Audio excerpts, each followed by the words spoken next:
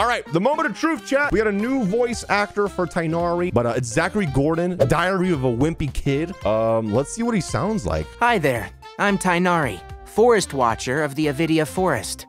My duty is to preserve both the rainforest's ecosystem and the safety of its visitors. I love it, dude. Here's the thing. It's different, and I'm glad it's different. I'm glad they didn't try to like mimic Elliot Gindi's voice, right? Because here's the thing. Elliot Gindi's voice for Tighnari was good. I liked it a lot.